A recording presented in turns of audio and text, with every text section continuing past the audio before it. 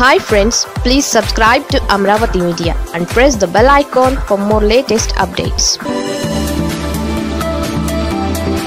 జగన్పై ఆరోపణలతో చంద్రబాబు అభాసుపాలు టీడీపీ నేతలు ప్రతినిత్యం ముఖ్యమంత్రి జగన్పై ఏదో ఒక ఆరోపణ చేస్తున్న విషయం తెలిసిందే.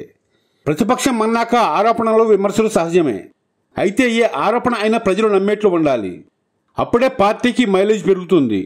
కానీ టీడీపీలో ఇప్పుడు పరిస్థితి విచిత్రంగా ఉంది. అధినేతది ఒకదారి నేతలది మరోదారి అన్నట్లుగా ఉంది.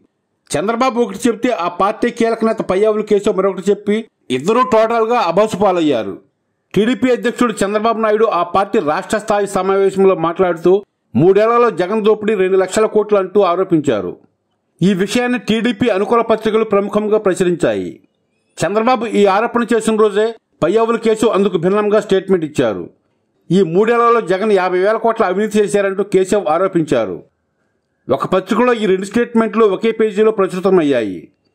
దీంతో పెద్ద ఎత్తున ట్రోల్ జరుగుతోంది. టీడీపీ పెద్దలు కేవలం నోటికి వచ్చిన అంకెని చెబుతూ జగన్పై ఆరోపణ చేస్తున్నారని నెటిజన్లు విమర్శిస్తున్నారు.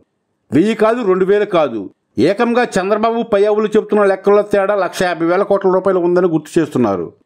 దీన్ని బట్టి పెద్ద సంఖ్య చెప్పి జగన్పై ప్రజల్లో వ్యతిరేకత సృష్టించాలన్న తపన తప్ప టీడీపీ దగ్గర ఆధారాలు అంటూ ఏమీ లేవని విమర్శిస్తున్నారు.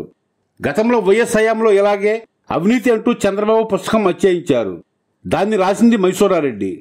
టీడీపీ నుంచి బయటికి వచ్చిన తర్వాత ఆ పుస్తకంలో లక్ష కోట్లు అంటూ ఆరోపణ చేయడానికి ఎలాంటి ఆధారం లేదని భారీ స్థాయిలో అవినీతి జరిగిందని ప్రజలు నమ్మించేందుకు చంద్రబాబు లక్ష కోట్లు అని చేర్చమంటే చేర్చమని మైసూరారెడ్డి చెప్పారు.